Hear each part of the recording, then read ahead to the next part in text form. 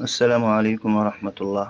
پانچ منٹ کے درس قرآن میں سورہ آل عمران کی آیت نمبر پچانو یعنی نائنٹی فائیو میں۔ ان اول بیتی وضع للناس للذی ببکت مبارکا وهدى للعالمین۔ یہ بات بتلائی گئی تھی کہ دنیا کا سب سے پہلا گھر عبادت گاہ وہ ہے جس کو اللہ نے کعبۃ اللہ بنایا۔ اس کی تفسیر میں یہ باتیں بتلائی گئی تھی کہ آدمی کا سب سے پہلا فوکس گھر کے اوپر ہونا چاہیے۔ گھر بنانے کے اوپر یہ گھر والوں کے اوپر، یا گھر والوں کی تربیت کے اوپر ہونی چاہیے، یہ باتیں بتلائی گئی تھی۔ آگے فی ہی آیا تم بگینہ تم مقام ابراہیم۔ وہاں مقام ابراہیم ہے، کعبۃ اللہ کے پاس۔ مطلب یہ کہ جب طوفان، کعبۃ اللہ جب بنایا گیا، دنیا میں سب سے پہلا جو اللہ کا گھر، جو کعبۃ اللہ بنایا گیا، تو وہ کئی مرتبہ گر بھی گیا۔ جیسے طوفان نوح میں پوری دنیا تباہ ہو گئی تھی۔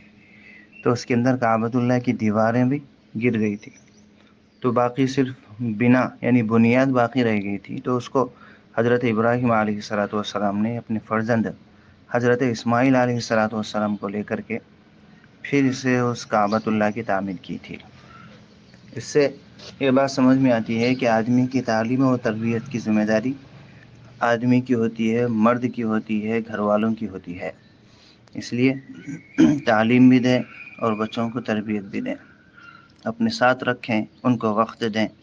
اس لیے کہ آدمی جب اپنے بچوں کو وقت دیتا ہے تو اپنی قابلیتیں، اپنی صلاحیتیں بچوں کے اندر منتقل ہوتی ہے۔ اپنی اچھائیاں بچوں کے اندر منتقل ہوتی ہے۔ اس لیے کہ آدمی دیکھ کے اتنا، بچہ بچہ دیکھ کے اتنا نہیں کرتا۔ جی؟ بچہ پڑھ کے اتنا نہیں کرتا جتنا کہ دیکھ کر کے عمل کرتا ہے۔ ہاں اس لیے حضرت ابراہیم علیہ صلاۃ والسلام نے اپنے فرزند حضرت اسماعیل علیہ صلاۃ والسلام کو ہمیشہ ساتھ رکھتے تھے۔ پھر اس کے بعد کعبۃ اللہ بنانے کے بعد انہوں نے آواز لگائی حضرت ابراہیم علیہ صلاۃ والسلام۔ اللہ کی طرف سے حکم ہوا کہ تم آواز لگاؤ، حج بیت اللہ کے لیے آواز لگاؤ۔ تو حضرت ابراہیم علیہ صلاۃ والسلام نے یوں کہا کہ یا اللہ میں کیا، میری بسات کیا، میری آواز کی حیثیت کیا؟ کہاں تک پہنچے گی میری آواز؟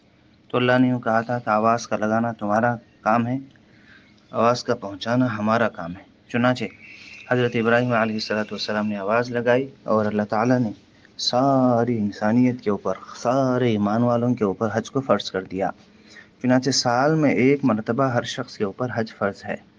ہر اس شخص کے اوپر جو وہاں تک جانے کی طاقت رکھتا ہے۔ یعنی کہ اس کے پاس اتنا پیسے ہو کہ وہ آسانی سے وہاں پر جا کر کے آ سکتا ہے اور جا کر کے آنے تک گھر میں اخراجات ڈال سکتا ہے۔ ہر اس شخص کے لیے، ہر اس شخص کے اوپر اللہ تعالیٰ نے حج کو فرض کر دیا ہے۔ ہم میں سے بعض حج کو عمر کے ختم ہونے کے بعد کے لیے اٹھا کر کے رکھا ہے۔ یعنی کہ بالکل بوڑھے ہو جائیں گے، پوری ذمہ داریوں سے فارغ ہو جائیں گے۔ اس وقت کے لیے حج اٹھا کر کے رکھا ہے۔ حالانکہ ایسا نہیں ہے۔ جوانی کی عبادت بڑھا کے بڑھاپے کی عبادت سے کئی گناہ زیادہ افضل ہے جیسے کہ حدیث میں ہے کہ جوانی کا ایک سجدہ بڑھاپے کے ستر سجدوں سے افضل ہے۔ بالکل اسی طرح جوانی کا ایک حج بڑھاپے کے ستر حجوں سے افضل ہے۔ اس لیے جوانی کی عبادت کی بہت زیادہ اہمیت ہے۔ ہاں بڑھاپا ہونے کے بعد اگر آدمی یوں کہے کہ میں گناہ میں نہیں کرتا ہاں، میں زیادتی نہیں کرتا، میں ظلم نہیں کرتا، میں نے کبھی کوئی خراب گناہ کیا ہی نہیں ہاں تو یوں کہا جائے گا بھی اس میں کمال کیا ہے؟ منہ میں آت نہیں۔ جی سوری، پیٹ میں آت نہیں، منہ میں دانت نہیں۔ آدمی یوں کہے کہ میں چکن نہیں کھاتا ہوں، میں گوشت نہیں کھاتا ہوں، تو کیا کمال ہے؟ کمال تو یہ ہے کہ آدمی کسی چیز کی طاقت رکھتا ہو، پھر بھی نہ کیا ہو، تو وہ طاقت، وہ کمال ہے۔